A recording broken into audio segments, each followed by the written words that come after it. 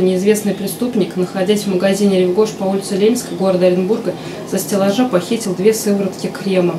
Был задержан 29-летний житель города Оренбурга, у которого была изъята одна из похищенных сывороток и была возвращена потерпевшим. По данному факту было возбуждено уголовное дело по статье 158 Уголовного кодекса Российской Федерации «Кражи», за которое максимальное наказание не превышает двух лет лишения свободы.